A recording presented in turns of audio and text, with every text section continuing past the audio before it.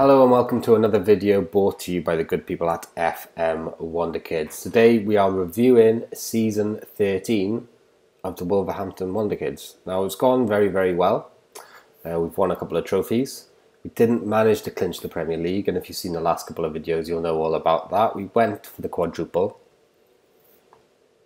but we didn't quite get there. Um, so if we head on over to the news feed now we can start reviewing the season. So if we have a little look here, let me just find the correct, correct screen. Where are we? There it is, the review. So it was a memorable season for Wolves as they tasted success in the European Champions Cup. So we won the Champions League again. We won the FA Cup again. We won the Carabao Cup. And we won the Community Shield.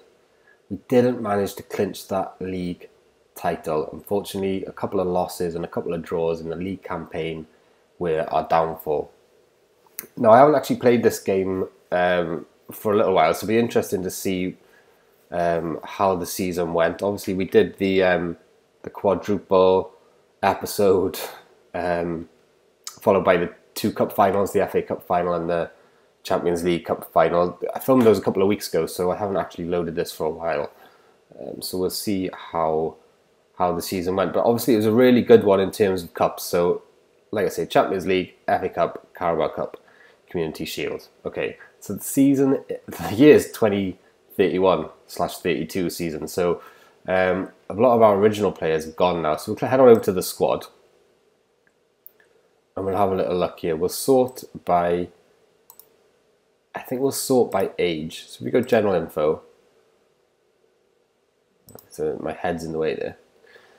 Um, let's have a little look here. So if we go to custom filter, YouTube reports, age, there we go. So we sort by age. So our oldest player is Sandro Tonali at 32, and obviously at the start of the game, he is a wonder kid. The same with Greenwood Gelhardt. Fati's getting up to 29 as well.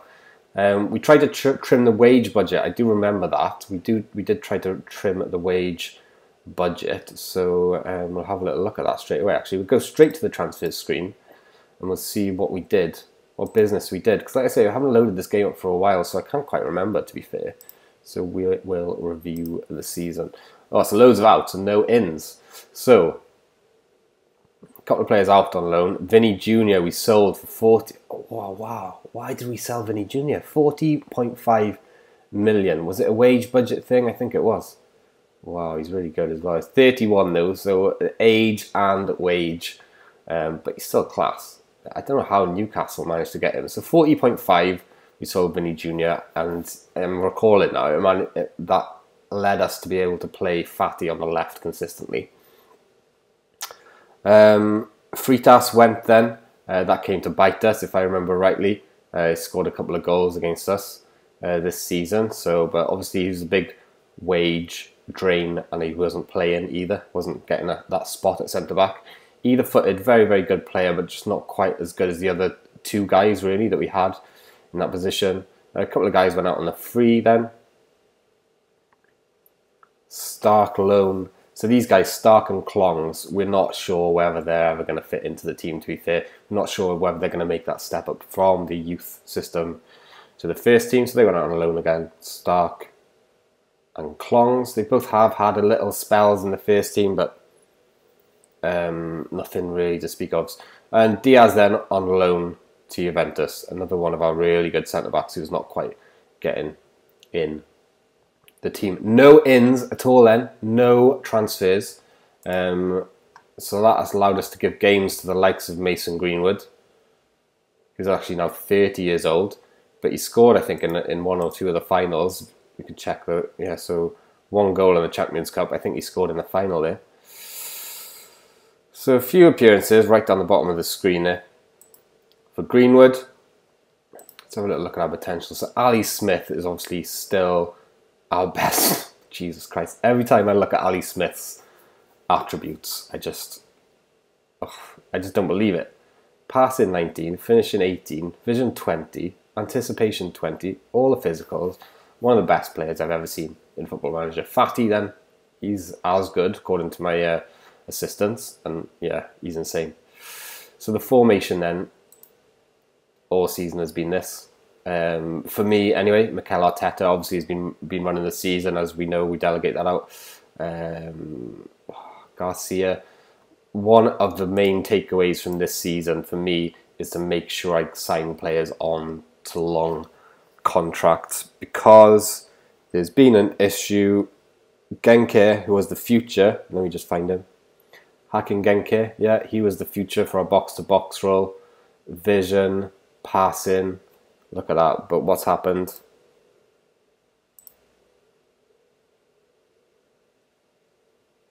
He is joining Real Madrid on an end of contract, absolutely free. Zero pounds. And Genka is gone. Really, really sad to see that happen.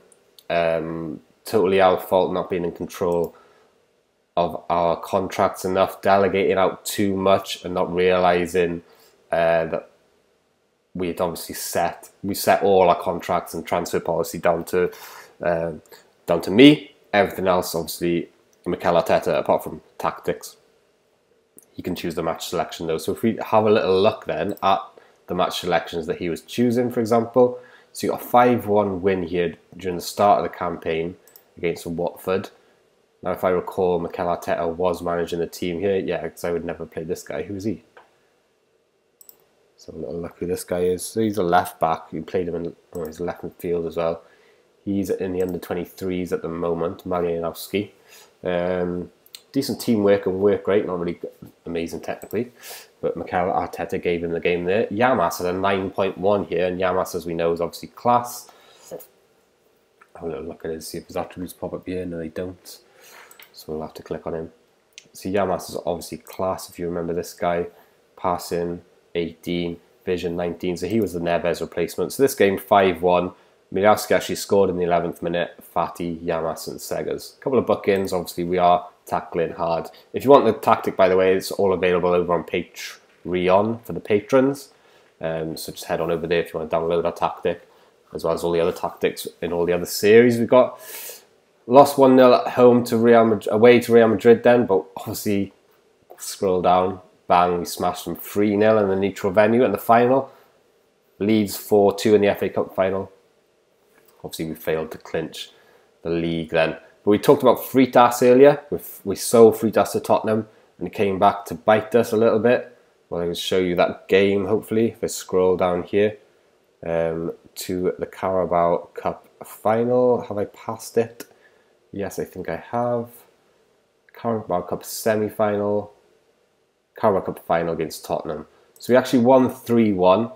But you can see here, Freitas scored in the 21st minute, playing alongside this guy and this guy. They're all regens at this point. But um, yeah, came back to bite us. Ali Smith then scored in the 90th minute, and Dembele scored in the 120th minute. You see that, that space there for Greenwood's been freed up by getting rid of Vinny Jr. 40.5 million and Fati then on the left with Ali Smith up front and Segas in behind. So we were, or we probably still are, the highest wage spenders in the league. Six million per week is our budget, and we're currently spending 4.9. Uh, that is the highest in the league, so we've been looking to try and get that down. Balance is good. Profit and loss is generally good um, but we wanted to make sure we were in total control of that. We didn't want it to go out of control. So that's our that was some of our results there. We'll have a little look at the team report then. Uh, we usually go into squad depth. Here is the best um, indicator for us. It's Ali Smith up front. For me, then backup would have been Greenwood. Fati on the left.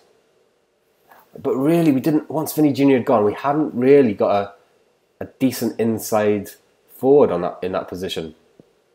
So I wonder that would explain why Mikel Arteta played that guy Milowski in that game. Let's have a little look here. See, Fati plays a lot of games. See, Fati does actually play a lot of games for us this season. Fati, Fatty, Fati. PSG away. Fati plays again. It's like that rhyme, isn't it, where you do your tie, fatty up the tunnel, fatty down again, fatty round the back, blah blah blah. See, I don't, I obviously don't know how to do ties. Newcastle away. Oh, we play against Vinny Junior. Oh, Newcastle beat us. Fati still plays. Fati plays every single game here. Brighton, Greenwood came in on the left there. So Greenwood is either footed. So yeah, that makes sense. Mikel Arteta would have played him on the on the left as the inside forward, which I like. I like that move from Mikel. Uh, Dembele then on the right gives him actually a game for once. Four appearances in the Champions League, 16 appearances overall with 10 off the bench, 10 goals. So Dembele is 29 now. We might sell him, might not. We're not really sure about that into next season. So that the team report then, just so we don't get carried away ourselves, we go back to the team report, squad depth, just so you guys um, can keep up with all these players. So Gelhardt and Dembele still mainstays. Segas, Ali Smith for me as backup. Still got Veloso Garcia as our box-to-box man with the high work rate. He's going nowhere. Hopefully Real Madrid won't come in for him. Yamas we spoke about. Veloso and Tonali. So Tonali is still club captain. He's had his testimonial actually at the start of the season. Again, we'll have a little look back at the schedule. Tonali testimonial. There it is, 3-2 against Monaco. So maybe that's it for Tonali. Maybe that's the end of the club captain. You'll have to stay tuned into next season to see what happens with our club captain. Who do we pick? Daniel Hoy would be a lovely choice, but he hasn't got any leadership about him at all, which is a shame but he's our centre back alongside either Ramos or Bergman. Bergman's more solid, round, and has always had more potential, but hasn't quite realised it yet. Um, and then Ramos is better but can't jump. So it's kind of none of, neither of them are perfect, but they're both very good, if that makes sense. De Holt's left back, still a mainstay, 27 now, best left back in the world, bar none. Kyrgyzstan and Delati on the right. Again, rotation. Kyrgyzstan, Delati, very, very similar. Fayet, Sid, and Slattery, our goalkeepers, probably get one of those on loan next season. Staff then, obviously we've got Mikel Arteta as our assistant manager. That's me, that's Mikel. So great acquisition. He's done really well this season, and he's managed obviously to get every single cup. Basically, he's won every single cup. So he's a good cup manager. We've still got all our directors of football everyone's the same there. Training, schedule, scouting, transfers. So I think we've done a lot to be fair. We've looked at our finances. Let's have a little look at the under the development centre. Because this is where we really need to kick on now because a lot of these guys aren't really stepping in. Genke we've lost because we lost control of our contracts. Um, Zaros, okay, centre back. I mean, we're, we're quite blessed in the centre back, centre back area, but that's one coming through. Miliowski, who got a game last season, left back cover 100% for Kyrgyzstan for um, De Holtz. Behind that, I mean, we're struggling. So I say we're struggling. I mean, first team is very, very good. So who are these guys here?